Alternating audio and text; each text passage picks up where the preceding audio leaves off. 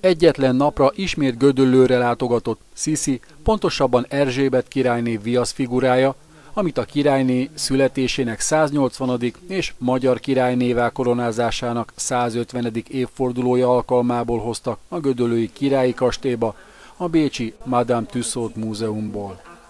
Mint azt Arabella Krusczynski, a Panoptikum igazgatója délelőtti sajtótájékoztatón elmondta, a két évforduló kiváló alkalom a bemutatóra, hiszen Sisi itt Bécstől távol találta meg második otthonát.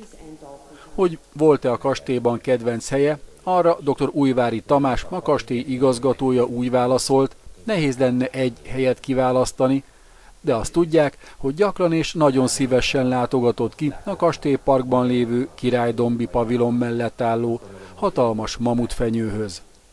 A rendezvényen dr. Kis Ernő történész beszélt a koronázást megelőző időszakról, majd Johannes Liebezéder, az osztrák nagykövetség munkatársa a napjainkban élő Sziszi kép kapcsán úgy fogalmazott, Erzsébet királyné ma is a magyarok és az osztrákok kibékülésének jelképe.